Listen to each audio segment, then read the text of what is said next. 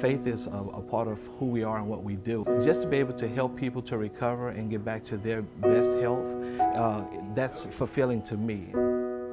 I think it's inspirational um, for me and for other people. It gives people a, a, calming sense. And I think at Christus, you really, you can feel it.